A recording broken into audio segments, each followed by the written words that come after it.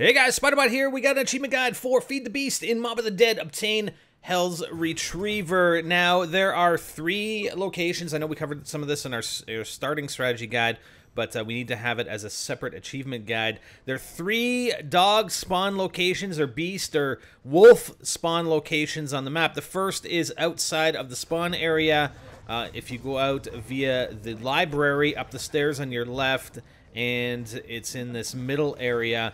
So to spawn the wolf in, if he hasn't been spawned there before, you have to kill a zombie fairly close by. And then he starts munching on him, nom nom nom nom nom nom.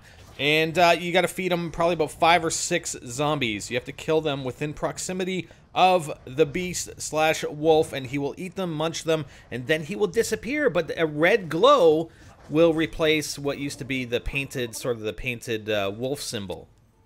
Next one is in the infirmary. Same thing, you gotta activate him with a dead zombie or killing a zombie right in front of him, and then kill five or six zombies in front of him so he will mow down on them.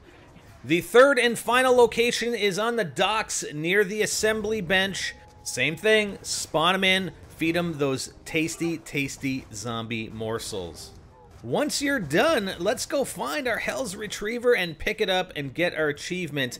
Now, you can go up from the Citadel Towers or down from the showers or near the Warden's office. And uh, if you notice as you come into this area, the wall here was closed before, and the indicators, there are three indicators, uh, and it shows your progression. They are now lit up.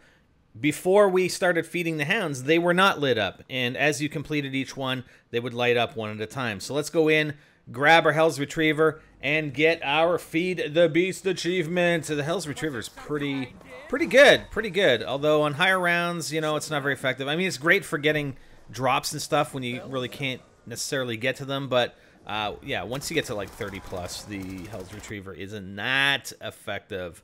One other thing I should mention is that you don't have to spawn them in one at a time. You can do all three at once or two at once or whatever. Just confirm that over Twitter just now. Hope it helps, guys. I'm Spider, and I'm out.